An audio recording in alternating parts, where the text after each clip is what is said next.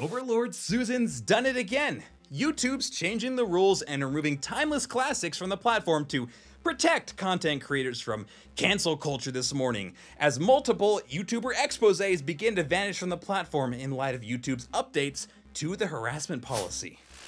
This is PNN. I'm Alistair, and I'll be your newsbreaker for today while we settle into the flow of e-news and juicy internet drama. So stick around and stay subscribed if you want to see news from people who actually give a shit. And maybe consider dinging that bell down there to get the news first. Now, I'm a little new around here, so go easy on me when I hit you with the hard hitters. Trust me, it hurts for me too.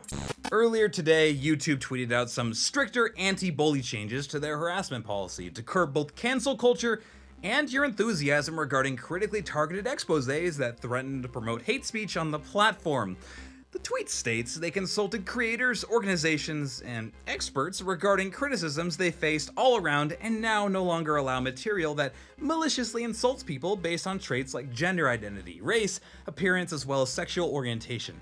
Makes sense, but that's not all. Threats of implied violence that simulate or suggest violent harm towards someone can now lead towards severe penalties on those brushing up against the threshold, risk having their partnership revoked on the platform with the possibility of channel termination if deemed pushing the policy's limits. And yes, this is effective immediately. You may have already noticed some big creators have already been hit with the new policy, as classics like the Content Cop on Leafy is here is gone from iDubbbz' channel, it was Ian's second most viewed video with well over 38 million views next to his critique on Rice Gum, which may very well be next on the chopping block. But the list goes on. Paul Watson's introspective look at modern values in his social commentary with over 1.5 million views bit the dust this morning, along with Gokanaru's critical analysis of H3H3 shift in public reception, also boasting well over 1.3 million views. It's likely more to follow unless creators act fast. Twitter's been blowing up with a mix of creators joining the discussion. Tommy C reached out to Leafy to get a response on the removal of Ian's video that railed him, and Leafy was shocked. It's possible the likes of controversial comments made by Steven Crowder may have factored into these changes, as Julia Alexander, a writer for The Verge, speculates.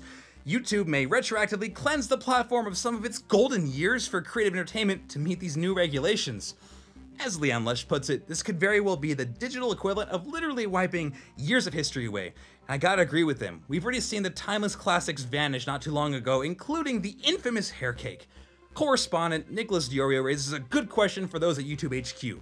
Will they enforce the same strict repercussions on their beloved late night talk show hosts, or presumably continue to play favorites as usual?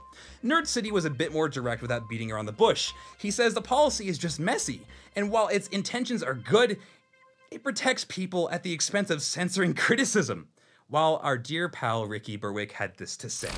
Thank you for being my second mom and dad. I appreciate it.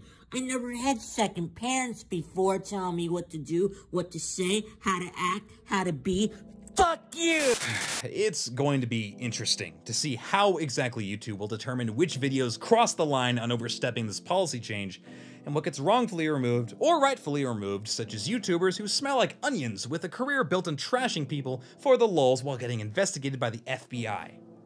If you've been affected by YouTube's recent change and you think your content was wrongfully removed, we'd like to hear about it. Let us know by reaching out to us via our socials in the description box below. If you want to know more about this article and what it entails, you can find a link to our queen where she writes in her blog post about how this policy is intended to affect creators, link below. Stay subscribed for more developments and incoming stories here on PNN. My name's Alistair, and thank you for letting me break it to you here first. Take care.